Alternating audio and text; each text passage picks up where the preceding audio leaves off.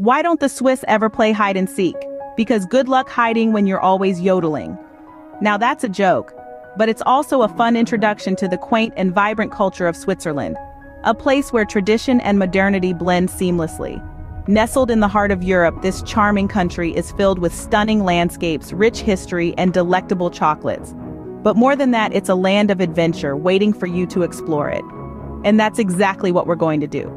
We've got a grand tour lined up for you, taking you to the top 10 must-visit spots in Switzerland. From the majestic peaks of the Alps to the bustling streets of Zurich, we're going to uncover the gems that make Switzerland such a treasure trove of experiences. So buckle up, because this journey is going to be more exciting than a Swiss Army knife at a picnic. Before we dive in, do us a favor and hit that like button and subscribe to our channel. It helps us bring more exciting adventures to you. Each like, each subscription fuels our journey, enabling us to uncover more inspiring destinations and share them with you. It's like a virtual passport, granting us access to the most breathtaking spots on the globe. And today, we're embarking on a journey of a lifetime. Our first stop? The majestic Swiss Alps, a world of snow-capped peaks, verdant valleys, and crystal-clear lakes. A place where every turn reveals a postcard-perfect scene. Every breath is a gulp of crisp mountain air. So go on, hit that like and subscribe button. It's your ticket to join us on this epic adventure. So are you ready to explore the Swiss Alps? Drop a comment below about your favorite mountain adventure. First stop, the Swiss Alps, where the mountains are so high, even the goats get vertigo. Welcome to the Swiss Alps, a paradise for adventurers and nature lovers alike.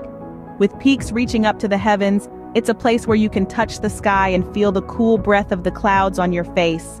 The mountains here are so high, you'd think they're trying to compete with the birds for the best view. Now, if you're a fan of hiking, you're in for a treat. The Swiss Alps are home to some of the most scenic trails in the world, winding through lush meadows, dense forests, and of course those awe-inspiring peaks. And let's not forget about the wildlife. You might even run into a few mountain goats along the way. But don't worry, they're friendly and they've got a great sense of balance. In the winter, the mountains transform into a snowy wonderland, making it a prime spot for skiing. Whether you're an expert skier or a beginner, the Swiss Alps cater to all levels. And remember, it's not about how fast you ski, it's about how cool you look doing it. Just kidding, safety first, folks. For those with a head for heights, there's mountain climbing. Scaling the Swiss Alps is no easy feat, but the reward is worth every drop of sweat. When you reach the peak and gaze out over the vast expanse of beauty below, you'll feel like you've conquered the world. Just remember, the higher you climb, the harder it is to breathe. So, take it slow, enjoy the journey, and maybe pack an extra oxygen tank, or two. Now, if you're wondering why the Swiss Alps are so tall, well, they're just trying to keep their heads above the clouds. It's tough being a mountain, you know? Always having to stand tall, never getting to sit down. But hey, at least they've got a great view. From the Swiss Alps, we're off to our next stop. Can you guess where? Hint, it's a city that's a capital of peace. Of Welcome to Geneva, where the chocolate is as rich as the people. Sitting on the French border, this city is a global hub for diplomacy and banking. But don't let that fool you into thinking it's all work and no play. Geneva is also all about the three C's chocolate, cheese, and of course, clocks. The Swiss people have a long standing love affair with timekeeping, and it's no surprise that Geneva is the birthplace of fine watchmaking. You could say they've been watching over us for centuries, and boy, have they done a timeless job at it. Let's not forget about the Jet d'eau, one of the city's most famous landmarks. This massive water fountain spouts water 140 meters into the air. It's like a geyser, but with a Swiss twist. You might say it's their way of making a splash on the world stage. And speaking of stages, Geneva is also home to the Grand Theater, where you can catch some of the finest operas and ballets in the world. It's all very grand. But then again, everything in Geneva is. The city is also known for its peace-loving spirit, thanks to the presence of the United Nations office. You could say that Geneva is the Switzerland of Switzerland, neutral, peaceful, and a haven for diplomatic discussions. But let's not forget about the food. Ah, the food. The Swiss are serious about their fondue, and Geneva is no exception. Imagine a bubbling pot of cheese waiting to be dipped into with fresh crusty bread. It's a culinary experience that's great in every way. And for those with a sweet tooth, there's Swiss chocolate. It's rich, it's creamy, and it's so good it'll make you want to bar all other chocolates from your life. As we say goodbye to Geneva, we hop on a train to our next destination. Choo-choo, Lucerne, where the only thing more beautiful than the lake is the sound of the Alphorn in the evening. Welcome, dear wanderers, to a city that's a feast for the eyes, the ears, and the soul. Lucerne, nestled in the heart of Switzerland, a land where time seems to have perfected its art. Now, let's start with an undeniable truth. Lucerne is a stunner. With Lake Lucerne as its sparkling jewel, and the snow-capped Swiss Alps for a crown, it's a city that wears nature's best. But it's not all about the looks here, no sir. It's got brains too, steeped in history and culture that run as deep as the lake itself. Take the Chapel Bridge for instance. It's the oldest covered bridge in Europe, and it's as charming as a fairy tale. But oh dear, it seems Swiss precision didn't work out so well here. You see, they accidentally burned part of it down in the 90s. But true to their form, they rebuilt it with such precision, you'd never know the difference.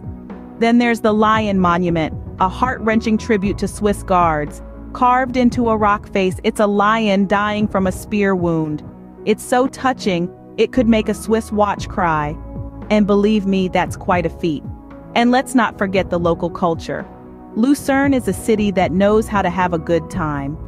From the vibrant Fastnacht Carnival to the serene sounds of the Alphorn echoing across the lake in the evening, it's a city that's alive with tradition and celebration. And for the cherry on top, the Swiss Museum of Transport. It's like Disneyland for anyone with an appreciation for Swiss precision and efficiency trains, planes, automobiles, and even spacecraft, all under one roof. It's the Swiss Army knife of museums. With Lucerne behind us, we're off to our final destination. Can you guess where?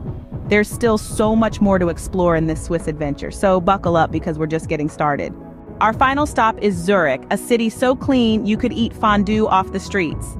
Now, I wouldn't recommend that, but it gives you an idea of the Swiss commitment to tidiness. This is a city where you could misplace a Swiss watch and probably find it right where you left it, untouched and still ticking away perfectly.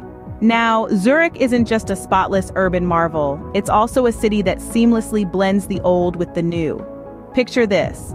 Cobblestone paths meandering through modern architecture, with the Alps standing tall in the background. It's like stepping into a postcard, only better because there's chocolate.